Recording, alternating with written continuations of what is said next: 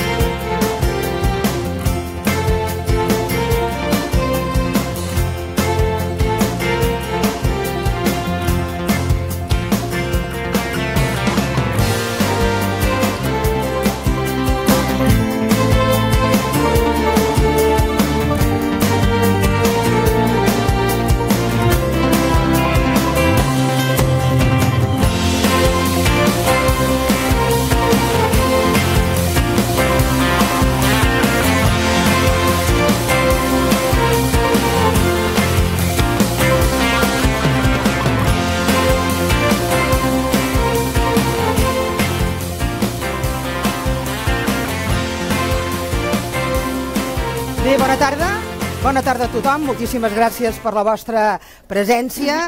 Excusar la Marta Pascal, la coordinadora general, que per una qüestió familiar a darrera hora li ha estat impossible, però bé que ens acompanya també, entre d'altres persones, el David Bombaí, el qual eh, t'ho vull agrair de manera molt clara.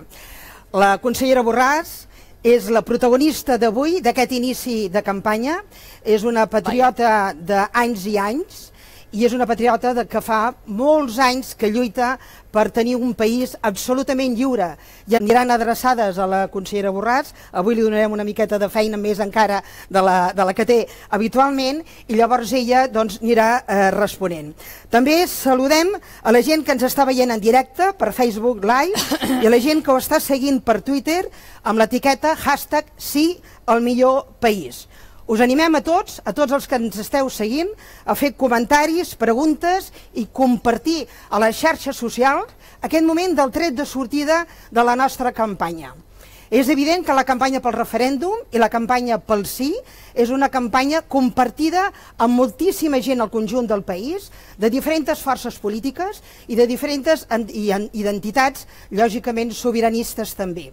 Però a ningú se li escapa que el Partit Demòcrata és el partit que lògicament, primer per, per convicció absolutament, però sobretot també perquè és el partit que, d'alguna manera o altra, hi ha esmerçat més esforços tenint en compte, des del punt de vista del capital humà, tenim quatre inhabilitats, quatre investigats i ara també eh, quatre imputats i dos investigats, com és la consellera Borràs i el secretari general. Per tant, iniciem aquesta campanya amb la il·lusió de sempre de poder donar les raons, no és únicament el sí, sinó les raons del sí, que es basarà en explicar moltes coses per què ens sembla a nosaltres que el referèndum ha de guanyar el sí, sinó que a més a més també eh, ho empenyem des d'un punt de vista de que, i per això comencem des del minut zero, perquè creiem sincerament que nosaltres, el Partit Demòcrata, comencem ja i emplacem a tothom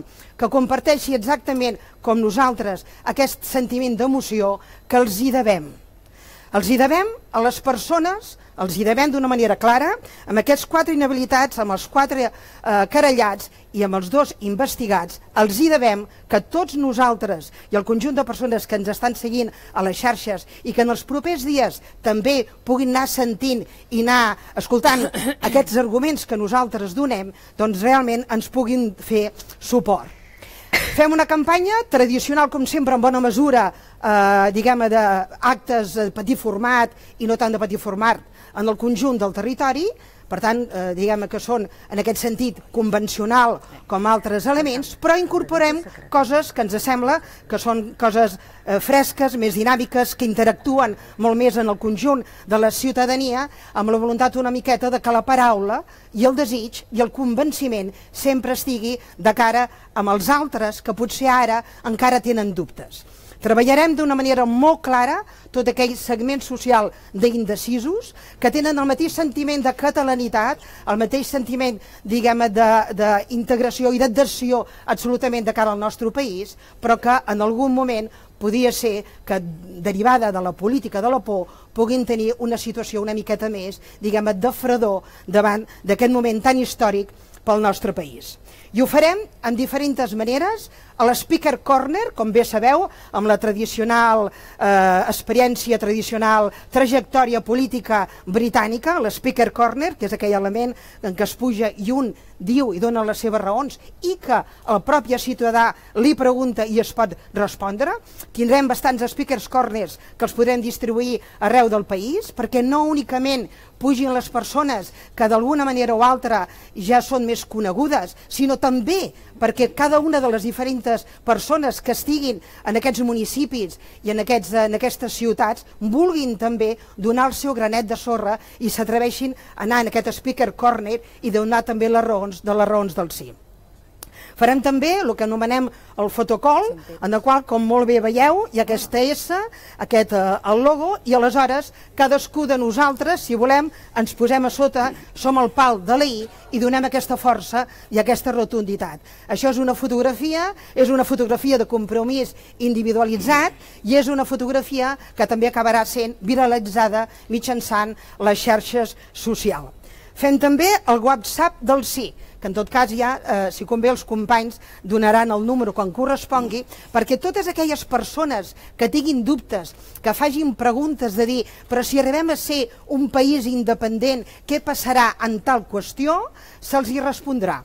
Se'ls hi respondrà mitjançant el WhatsApp del sí i per tant és una manera d'anar donant en diferents formats i en diferents eh, angles totes aquestes raons del sí fem la plataforma que és la plataforma de voluntaris del sí.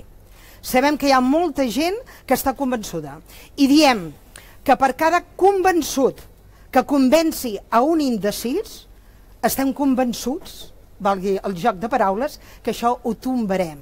Per tant, demanem a aquests voluntaris, que no cal que siguin del Partit Demòcrata, que són voluntaris, en tot cas, del conjunt del país, que s'impliquin, que s'impliquin en la campanya dels voluntaris del sí per ajudar a que un convençut convenci amb un indecis i de ben segur que llavors tot això en podem fer una gran victòria. Farem també allò que és la ràdio del sí. La ràdio del sí, a partir de demà, cada dia a les 17.14, en l'espai web podcast, s'emetrà una informació a les 17.14, una raó, una explicació, una raó del sí amb la veu del Miquel Calçada i dos professionals més, que ja els descobrireu vosaltres mateixos, a partir de demà doncs, estem molt contents perquè, a més a més, amb el rigor, amb la professionalitat doncs, que aquestes persones, i amb l'amor i amb l'estima i amb el compromís que han demostrat a partir de l'enregistrament de totes aquestes càpsules, estem absolutament convençuts que molta, molta gent l'acabarà seguint. I per últim, la reflexió que voldria dir, i en tot cas eh, l'oferiment en nom del Partit Demòcrata i traslladat avui, doncs, eh, i traslladat eh, amb el senyor Jordi Sánchez, però amb el conjunt, en tot cas, de les entitats sobiranistes, que tot aquest material, tot el que nosaltres hem preparat del Partit Demòcrata, a la ràdio del sí, i tot el que bonament considerin que és adient i que és necessari per la campanya conjunta, nosaltres gustosament la cedim. Gustosament cedirem tots els espais de la ràdio del sí, gustosament cedirem totes aquestes reflexions que hem elaborat des del Partit Demòcrata, perquè en definitiva el sí és el sí del país. Per tant, confiem en que tots vosaltres, tots, les xarxes també que ens esteu seguint i que us volem agrair d'una manera molt, molt clara, que sobretot ens ajudeu i nosaltres a disposició de la campanya conjunta perquè al cap i a la fi el que s'ho val és el país. Per tant, nosaltres el que fem és el granet de sorra que ens correspon com a Partit Demòcrata. Moltes gràcies. Ara començaria en tot cas jo fent la primera pregunta, consellera, és una dinàmica que això començarà a partir, a partir d'ara, i és el següent. Consellera, sovint dius que el dilema que ens trobem actualment eh, a Catalunya està entre independència o decadència. Ens podries posar, explicant-nos una miqueta, si plau, tres o quatre exemples que identifiqui claríssimament la diferència entre un estadi o un altre? Sí, tant. Vinga. Consellera Borràs, gràcies. Hola. gràcies, Montse. Ai, ai, ai, que ens enganxarem amb el micro. Hola, bona tarda a tots. En primer lloc, gràcies, uh, gràcies Montse i gràcies per haver pensat en mi per iniciar aquesta campanya del sí. Agraïda que estigueu aquí tants amics i amigues, entre ells doncs, uh, el, el responsable màxim en aquests moments de, del partit, també el conseller Rull, el president del grup parlamentari, uh, tant a Catalunya com a Madrid, i per tant, gràcies a tots vosaltres per ser-hi. També a tots aquells que ens seguiu a través de la xarxa, no? perquè això eh, és l'efecte multiplicador de la, del que nosaltres volem explicar i és bo que a través de la xarxa també puguem arribar a tantes i tantes persones. Sí, aquest és, eh, Montse, com em deies, el tema de dependència o s'ha de triar entre independència o decadència és una expressió que me l'has sentit, ja ho veig, en algunes de les meves xerrades i aquesta és una realitat. No? Una realitat que explicaré, però m'agradarà una mica també posar-ho en context, tot això. Una mica posar-ho en context en el sentit de dir que fins ara ens hem dedicat molt a explicar de la necessitat del referèndum. I, de fet, hi ha molta gent que ens diu que ja és hora és necessari que expliquem, més enllà de la necessitat del referèndum, que tenim pràcticament el, el 80% de la gent del país que té molt clar que s'ha de poder fer un referèndum, cal explicar el per què del sí, per què és interessant el vot pel sí. En primer lloc, no me'n puc estar, segurament és que venim ja de tant de temps d'explicar de la necessitat del fet de poder votar, però jo crec que és necessari dir que en democràcia el més natural, el més eh, correcte, és decidir les coses a través de les urnes, és decidir les coses a través dels vots. I per tant, això és el que pretenem fer-ho nosaltres amb un referèndum, un referèndum que hauria de ser vist amb normalitat, un referèndum que nosaltres, com tots sabem, el volem pactat, i per tant un referèndum que respon a l'essència de la democràcia, a l'essència de poder parlar. I és evident que aquest referèndum és en, en si pròpiament només una eina, només una eina per poder guanyar, per poder guanyar el sí, lògicament. Poder guanyar el sí, per tant, disposar d'un país millor un, i, per tant, fugir d'aquesta decadència. Volem un país millor i en aquest sentit uh, ens preguntem per què aquest país que doncs, uh, històricament ha mirat d'encaixar en el que és en l'estat espanyol, perquè uh, fa un salt endavant, podríem dir, fa un canvi doncs, de, de, de mentalitat, fa un canvi de plantejament i ens plantegem doncs, de plante uh, com a futur la nostra independència. I ho volem fer, a més a més, insisteixo, molt democràticament, que és com s'han de fer les coses, que és votant. Doncs home, el catalanisme ha estat més de 100 anys intentant aconseguir aquest encaix. En si mateixa l'expressió ja vol dir que no acabem d'encaixar. No?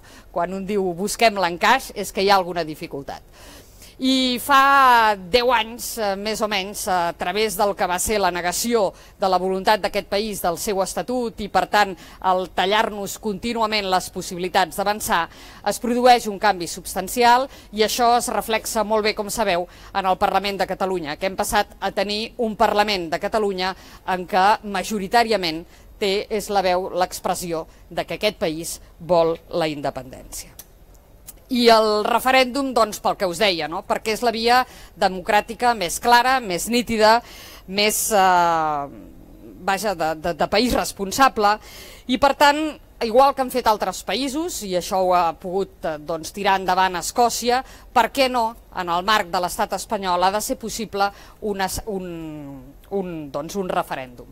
N'hi ha qui ens diuen que és eh, inconstitucional i aquí segueixen, que és il·legal, que és impossible però tots sabem eh, que hi ha doncs, eh, constitucionalistes rellevants de l'Estat que no són precisament constitucionalistes eh, doncs allò patriotes eh, que han dit que això és possible, entre ells Rubio Llorente o Pérez Royo.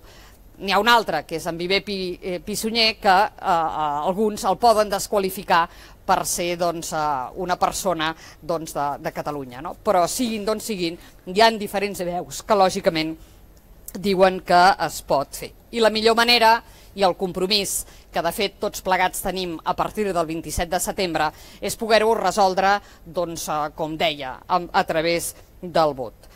I tenim sobre la taula l'amenaça, l'amenaça de que si nosaltres volem seguir amb aquest procés doncs ens trauran l'autogovern, que ens cauran totes les pestes a sobre, però jo crec que no han entès una, un fet molt senzill i és que l'autogovern no és un tema en els quals neixi la Constitució. L'autogovern en aquest país ve de molt més eh, enllà. De fet, el, el govern de la Generalitat es, es restableix abans de Constitució i per tant en aquest sentit, escolta, nosaltres eh, i el reconeixement hi és i nosaltres som, som doncs, una nació i com a tal doncs, un subjecte polític i això vol dir que ningú ens pot manllevar la capacitat de decidir per nosaltres mateixos el nostre futur. He caigut, insisteixo, una mica en explicar per què de la bondat del referèndum, per què és bo que puguem fer les coses democràticament, però jo crec que no està de més, perdoneu-me, encara que avui sigui el dia del sí, no? Però el dia de, del sí jo crec que deixeu que posi alguns exemples molt clars del per què és necessari un sí. Un sí perquè tenim un estat que ens va a la contra un, est un estat que no ens permet eh, créixer, no ens permet evolucionar i a vegades amb coses que, a més a més, eh, no s'acaben d'entendre el perquè d'aquesta negativitat. I posaré els temes, segurament podríem parlar del que no ens permeten tirar endavant el corredor del Mediterrani o que es pensa que aquest passa per Madrid, no sé on ho veuen això del Mediterrani a Madrid, o que eh, tants altres àmbits econòmics, no? Però hi han dos exemples que a mi em queden molt a prop que jo el vull posar eh, d'una forma molt clara. Una és quan ens tomben i ens tiren enrere el tema de la pobresa energètica, un tema que va tan de cara al que és eh, defensar els drets de les persones amb més necessitats, i l'altre també tot el tema de l'habitatge, no? el qual jo des del govern en sóc responsable. S'ha legislat com mai en els darrers anys en aquesta matèria. Concretament hem fet sis, lle sis uh, lleis, quatre de les quals doncs, ens les han portat en el Tribunal Constitucional i eh, ens les han aturat, i una d'elles doncs, ja sabem que està en vies de, perquè ja ens han dit que no els hi agraden i que per tant eh, hem d'obrir eh, via de negociació, però normalment aquesta via acaba després en el Tribunal Constitucional. I per tant, doncs aquest és un dels elements claus pel qual doncs, nosaltres hem de poder dir sí, perquè, escolta'm, eh, ens convé tenir un estat que ens eh, jugui a favor, que ens permeti desenvolupar-nos i que per tant dongui unes millors condicions de vida a tota la gent del país. I en segon lloc, també perquè tenim dret, tenim dret a, a gestionar els nostres propis recursos. És eh, lamentable veure com en aquest àmbit doncs, eh, cada any a l'entorn de 16.000 milions es perden en aquest país, diners que ens podrien servir per fer moltíssimes coses, que manca d'infraestructures, eh, manca de... Eh, aquest matí nosaltres fèiem una reunió en tota la matèria d'habitatge, que podríem fer grans inversions, podríem fer grans coses per poder tenir un parc públic d'habitatge eh, doncs, important i no doncs, reduït com tenim en aquests moments. Aquí doncs, nosaltres hauríem de poder disposar dels nostres propis recursos, no demanem res a canvi. O, o un altre tema, no? en funció pública en funció pública. Nosaltres tenim eh, doncs una de les ràtios més petites de funcionaris per nombre d'habitants del conjunt de l'Estat. I ho tenim no perquè eh, aquest país no tingui prou, eh, prou capacitat econòmica, sinó perquè tenim un dèficit econòmic que ens ve forçat per part del govern de l'Estat i això ens obliga doncs, a tenir una funció pública més reduïda del que nosaltres estrictament voldria i també menys eh, ben pagada del que seria just de poder-ho fer. I a més a més també creiem que cal un sí per regeneració democràtica, perquè volem un estat amb una alta exigència en tot l'àmbit ètic i democràtic. No? I l'estat espanyol eh, ja sabem que és el de l'Operació Catalunya, aquests dies n'hem sentit a parlar, lamentablement, eh, i volen posar la sordina, a més a més, però nosaltres creiem que aquest, aquests fets són del tot, eh, vaja, rebutjable, que tenim aquests eh, fiscals que ens diuen que ens afinaran les qüestions, el qual és, és eh, tremendo, en què es manipula la justícia i que a més a més doncs, hi ha aquesta voluntat eh, molt centralitzadora i per tant eh, gens de, de, de reconeixement del que nosaltres som. Un altre sí, si voleu, per un tema més sentimental, però a la vida també, a part dels temes pràctics, també existeix eh, doncs, allò que pensem, allò que sentim. No? I en certa manera el sí és eh, per un homenatge a totes les persones que han lluitat per fer d'aquest un país lliure, al llarg de tants anys. No? Ara tenim segurament l'oportunitat, com mai, d'aconseguir-ho. I per tant no els hi podem fallar també en aquest sentit nosaltres eh, hem de fer un sí amb majúscules. I el sí no pels que ens han precedit, sinó pels que venen a darrere, pels nostres fills. No? Estem segurs que nosaltres, eh, els nostres fills, disfrutaran, podran viure, podran tenir millors condicions de vida amb un estat propi i, per tant, que Catalunya aconsegueixi doncs, aquesta independència. I per tant, escolteu, eh, també un sí per una cosa que potser a algú li semblarà que és rocambolesca, però que jo crec que és molt important. Per un sí perquè nosaltres hem gosat, i m'atreveixo a dir així, hem gosat dir que volem votar. Hem gosat dir que som aquí i que tenem, tenim dret a poder decidir el nostre futur. I a nosaltres, a diferència del que s'ha produït a, a la Gran Bretanya, i el que s'ha produït doncs, a Escòcia, en què hi ha hagut un estat que ha dit que... Home, això és el que, sens dubte, hem de ser capaços de construir, no?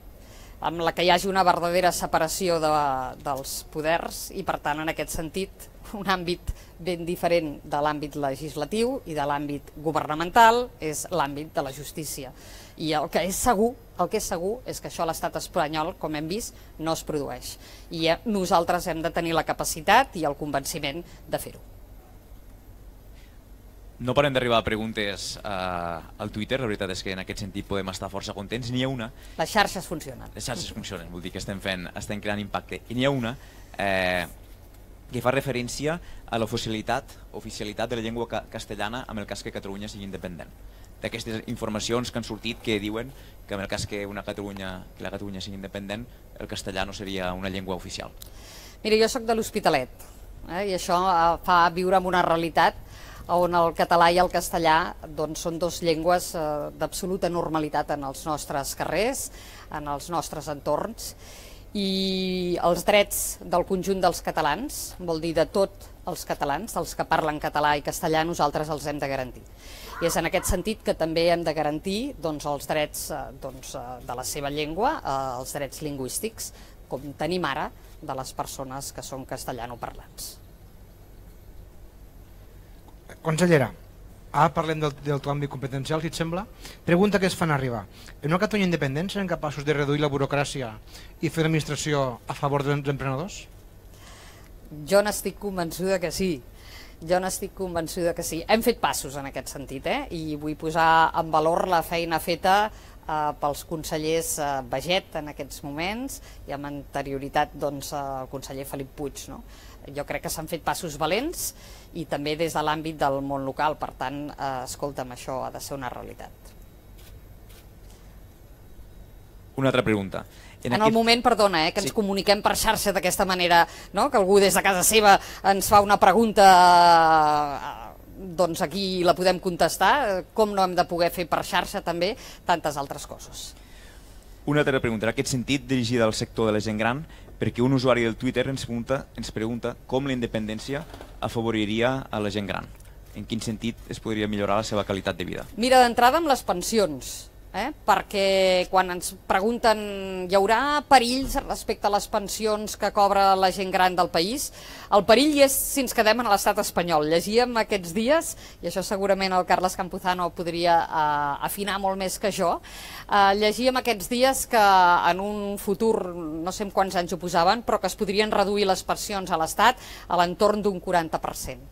És evident que aquest país eh, té més gent treballant, és evident també que els sous són més alts i per tant això genera eh, doncs uns ingressos superiors que ens poden facilitar un millor pagament a les nostres pensions. Això existeixen estudis seriosos i per tant aquí tenim tota garantia que la nostra gent gran tindria la possibilitat d'una bellesa millor, més tranquil·la i més ben doncs, remunerada eh, de l'esforç que han fet durant tota la seva vida laboral. Més preguntes. Quan... Tu ja es tallaràs, Montse, quan creguis que bueno, ens enrotllen massa. Eh? De moment Però, jo no vull La gent s'anima i clar. Eh? Pregunta'ns què ens diuen. Quan guanyem el referèndum, guanyem el sí tal com demanem, aconseguirem ràpidament el reconeixement internacional d'aquest nou estatus? Bé, eh, aquest segur que també serà un element que no serà d'avui per demà, però hi haurà reconeixement, clar que sí. I, eh, i jo crec que val la pena mostrar el que ha passat amb altres països, no? Que, que a vegades el, el primer moment pot costar que alguns països doncs, et reconeguin, però això acaba caient com fruita madura. Per tant, aquestes coses eh, es produeixen. Una altra pregunta, en aquest cas, sobre un tema d'actualitat. És molt directe, eh? Diu, amb la independència gestionarem millor l'aeroport del Prat? Això està garantit. Eh? I com eh, aquí hi ha el conseller Rull, que segur que ens en podria parlar. Mira, jo vull posar un exemple. Era un d'aquests exemples d'independència o decadència. Eh? I em va bé doncs, que ara m'ho preguntis. Què passa? Per què l'aeroport del Prat resulta que té totes les, eh, tots els mals i l'aeroport de Madrid no? Que no és la mateixa la gestió que s'ha de fer de la gent que entra de fora, que no es troben amb la mateixa situació, que ens envien una gent que és més... Eh, que sap tractar menys eh, amb les persones o que té més dificultats. No, és que aquí segur que no s'han posat els recursos humans suficients, que no s'han posat els elements necessaris perquè funcioni i ens trobem que les persones que volen tenen dificultats quan aterren al Prat. I això és, eh, ens juga a favor ai, en contra com a país, no? el fet de que doncs, hi hagi aquesta petita alarma que en el Prat hi ha un caos i és evident que si això eh, ho gestionem nosaltres anirà diferent. I ho tradueixo també o ho dic a través d'una altra cosa. Què passa amb els trens? No? Amb els trens del nostre país tenen una puntualitat de pràcticament el 100% quan són gestionats per la Generalitat de Catalunya i en canvi eh, estan entre el 80 i el 50% quan està en mans de la Renfe. I aquesta és una realitat. Aquesta és una realitat 80 i 50 perquè depèn de si són rodalies o si són regionals. Si són regionals, el 50%, tens el 50% de, de probabilitats d'arribar tard. Un caos. No? I per tant, eh, això és eh, terrible. Una altra pregunta. Catalunya independent també vol dir millors polítiques d'inclusió? Sí, perquè tindrem més recursos, i jo crec que tenim en aquest... I he posat alguns exemples de lo que és eh, la voluntat de donar una resposta a les persones més vulnerables. Els he posat els exemples amb el, en matèria de, per, de, de lo que és la pobresa energètica i també en l'àmbit de l'habitatge o, per, o quan hem parlat de tot el tema de, eh, dels, Sí, els pisos socials dels habitatges, però els, els, uh, les persones que venen de fora, els, uh, la campanya dels uh, refugiats, gràcies. En aquest país hem demostrat des del govern, des dels ajuntaments, des de les entitats, que hi ha una voluntat, uh, una voluntat clara d'acollida i que l'Estat ens hi posa molts impediments. Una altra pregunta, en aquest cas d'un empresari, que a través de Twitter ens formula En una Catalunya independent, els autònoms i les pimes deixarem d'estar maltractats? Jo crec que sí, aquesta ha de ser la nostra funció. Els, els empresaris i els autònoms són generadors de riquesa i per tant eh, és evident que, que han de pagar els seus impostos, que tenen també uns deures en aquest sentit, és obvi, però també és evident que, eh, que com a generadors de riquesa, de llocs de treball, etc, nosaltres hem de facilitar que puguin desenvolupar-se d'una forma fàcil i no amb dificultats. Acadèmia, consellera, amb la independència el Mediterrani deixarà de passar per la meseta? El que segur que el corredor del Mediterrani eh, no té cap sentit és eh, per la meseta. Eh? I l'última pregunta, formulada també en aquest cas a través de Twitter. En una Catalunya independent, aquesta...